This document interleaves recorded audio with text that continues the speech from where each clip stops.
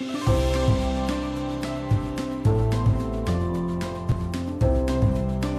am Chris Ghione with the City of Morgan Hill and today I'm going to be explaining how to use the Mogo Quick Ride service here in Morgan Hill.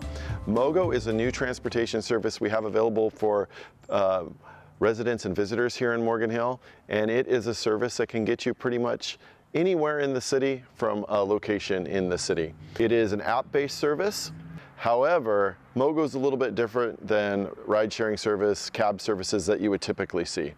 The big difference is instead of being a door-to-door service where you get picked up at your front door and dropped off in an exact location, Mogo has virtual stops through the whole city. And you have to be at one of those stops or walk to one of those stops to get in the Mogo um, van to be taken to another virtual stop somewhere else in the city. And that may sound like it's difficult, but it really isn't because there's virtual stops within a five minute walk of anywhere in the entire city. So the first thing you need to do to start using the Mogo um, Quick Ride service here in Morgan Hill is to download the Mogo app.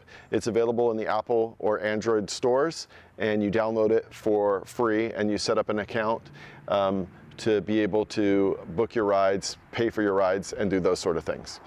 So once you've downloaded the app, you're pretty much ready to go and we're gonna talk through using the app right now.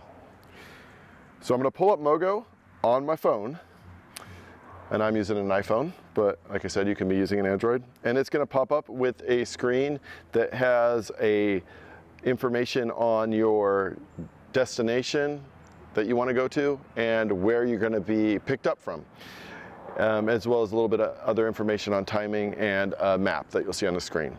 Now, right now, I am at the Civic Center in the city of Morgan Hill near City Hall, and I'm gonna choose that as my pickup address.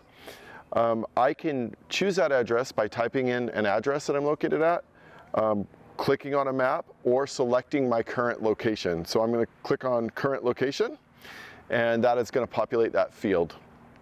Now we're going to talk about where I'm getting dropped off at. I'm going to I'm going to visit the railroad park today. So I'm going to choose a drop-off location, click on the drop-off location, and I could either enter an address here or a prominent location. So in this case, I am typing in Railroad Park. Railroad Park, Depot Street, Morgan Hill, California, selecting that and it has now populated the drop-off location. The next um, field that I have to choose is the amount of riders that I'm going to be booking this ride for. I'm going to be booking this ride for myself, my good friend Sergio, who's doing the filming today, um, and in this screen, I'll also have a lot of other options that I can choose. If I have a bicycle with me, you're able to take a bike on Mogo. I would select that I have a bicycle. If I need the accessible um, Mogo van, I would note the number of accessible rides that are needed. If I am a youth or a child, or I have a, um, I'm eligible for a discounted fare, I can also select those options. Don't have those going right now, so I'm just clicking OK and moving forward. And um, next, the next thing I need to fill in is the time that I want to be uh, picked up or will be available to picked up. So I'm clicking on the time symbol right here and I'm gonna choose my time. I'm gonna choose a time that is basically right now. So I'm choosing uh, 2.25 p.m. It's 2.24, clicking accept and I am choosing the day, which is today. You can book your rides in advance, so if you wanted to book a ride the next day and plan ahead, you can do that. So now I'm clicking the um, Find Rides button, and Mogo is gonna search for available rides for me. So searching, and it has come up with um, three options for me to ride. The first one are, um, they're showing where we're getting picked up from. It's showing I'm going to get picked up near uh, 17575 Peak Avenue, which is here near the Civic Center, and get dropped off near the Morgan Hill Caltrain station, which is right near the railroad park. Um, you, will see on the screen that I'm looking at that it is $5 per ride. That's because there's two passengers. It's $2.50 per passenger. And it's going to show me um, what time I will be picked up at from the place I'm leaving from. So it's giving me a pickup window in this first ride between 2.30 and 2.40 p.m. So when I see that, I have to know that I'm gonna be at the pickup point by 2.30. So right now, that gives me the ability to know that I have five minutes to walk to my pickup point. If that wasn't enough time, I would choose the next ride, which isn't a pickup till 2.55 um, p.m., which is a little bit later, would give me more time. So you choose the, the time, and then just to the right of the pickup time or the pickup window, it shows you the arrival time. And my first option says I'd be arriving by at least 2.50 p.m. or earlier. Second option, 3.15 p.m. or earlier. So I can guarantee and know or know that I'll be guaranteed to be uh, dropped off at my destination by that time. So I'm gonna choose this first option. And now um, showing that I'm going to be picked up, confirming that I'm going to be picked up near 175 Peak Avenue and dropped off near the Morgan Hill Caltrain station. And I'm now clicking OK to book my ride, and it's looking to book my ride. And it is showing that my ride is um, ready to be booked. I already have my credit card put in the system. If you haven't put that in, you can also choose to pay cash and book on the app and then pay the driver cash. I am gonna pay this fare and complete the booking of the ride. Okay, so my ride is booked. The app is now telling me the ride is booked and that I will be picked up between 2.35 and 2.45 um, right now. Um, once you are in this section, you can view your rides from the app um, that you have booked. Maybe you've booked a ride today and tomorrow. Both of them would show up in there. And it's now um, showing this ride that I've booked on in the app. And I can click on view details and get details on my ride. So it showed me where I'm picked up.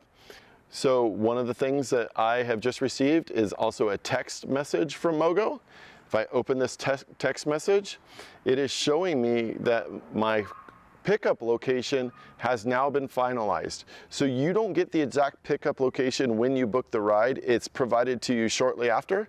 That pickup location is now available um, to me via text, which I can click on a map and look at. It's also now available in the app, Mogo app to show you the pickup location.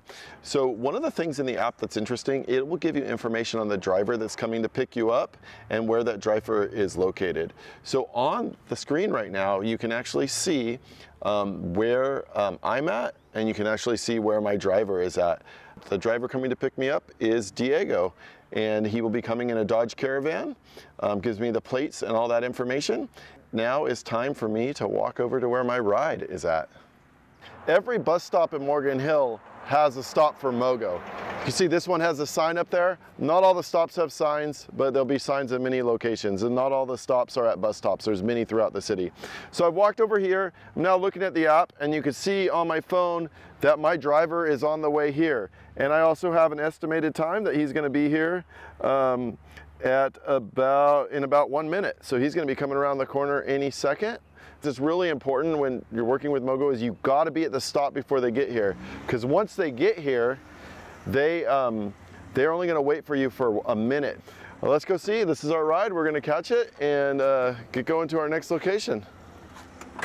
As we head towards our destination, one of the other things to remember is I'm not gonna get dropped off at the exact location I put in. I'm gonna get dropped off at the nearest virtual stop. So when I get dropped off at that virtual stop, I'm gonna then have to walk to my location, which may take a minute or two. So as you're planning your uh, trip, you wanna think about that. Um, it is also important to note that you may be sharing a Mogo van with someone else. If you're going to a destination that's near where someone else is going, they, you may get picked up and another person might get picked up and then you'll be riding together for a period of time.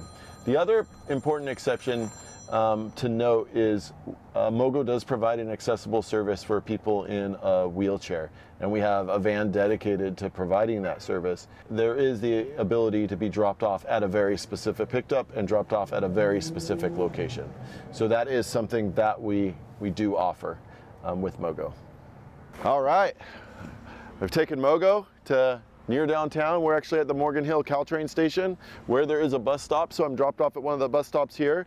If you'll remember, I booked a ride to Railroad Park. So I'm not exactly at Railroad Park, but Railroad Park's just a short walk over there. So I'm leaving my destination. I'm leaving my uh, pickup location. I'm gonna walk to my destination, which is Railroad Park. Um, while I'm doing that, I'm in the Mogo app and I am seeing that um, I get to rate my last ride um, that I uh, received from Mogo and I can uh, choose how many stars I want to give, provide more feedback, that sort of thing. It was a great ride. five stars, not gonna leave a comment right now, and I'm submitting my feedback, and that is uh, closing out my Mogo ride for today. All right, making it just a four, short four minute walk from my uh, drop off location at the uh, Caltrain station, dropped off by Mogo, and here, making it over to my destination here at Railroad Park. And I'm here at the park, made it from uh, the Civic Center to downtown Morgan Hill Railroad Park. And uh, that's it for today. That's how you ride Mogo. Hope you guys uh, enjoy and use the service.